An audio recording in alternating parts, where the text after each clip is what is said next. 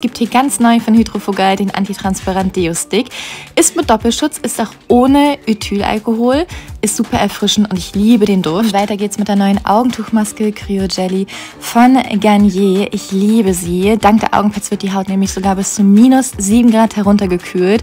Es ist ein sofortiges, frisches Gefühl und die Augenpartie schwillt komplett ab. Das neue Anti-Aging Hyaluron Serum von Judith Williams hat mich ein bisschen enttäuscht. Es riecht nämlich sehr stark nach Parfum, hat aber eine hochkonzentrierte Formulierung mit 2% Hyaluronsäure, also das ist ein dickes Plus, aber ansonsten ist es auch sehr klebrig auf der Haut. Von Larif hatte ich ja schon die rosane Edition getestet, jetzt kommen wir zur goldenen und die ist genauso gut wie die rosane. Die rosane ist so ein Dupe von Lancôme La Vie est Belle. Der goldene hier riecht ein bisschen mehr nach Jasmin, aber super schöne goldene Schimmerpartikel, perfekt für den Sommer. Einen dicken Pluspunkt bekommt der Gesichtsreiniger Puder zu Milch von Formi auf jeden Fall, weil hier komplett auf Plastik verzichtet wird.